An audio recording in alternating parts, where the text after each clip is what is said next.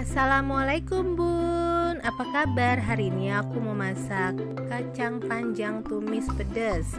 Pertama-tama kita masukkan minyaknya dikit aja ya bun. Mahal bun jangan banyak-banyak.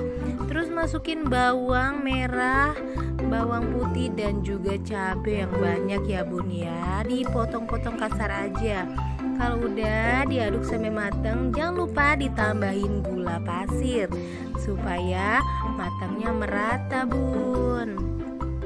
Setelah itu ke kacang panjang dipotong sesuai selera.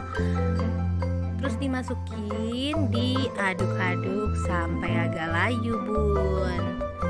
Nah, habis itu jangan lupa masukin penyedap supaya rasanya gurih-gurih nyoy aduk lagi bun. Sampai merata bun ya.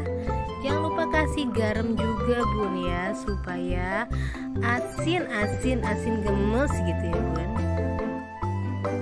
Diaduk sehingga merata. Tunggu sampai layu ya bun ya. Kalau udah jadi siap disajikan bun. Hmm, pakai nasi anget enak banget nih. Aduh jangan lupa ya bun. Baca bismillah dulu sebelum makan Lupa kasih tester ke suami. Semoga berhasil, Bun. Wah, testernya enak. Katanya pedes. Masa sih? Coba ah.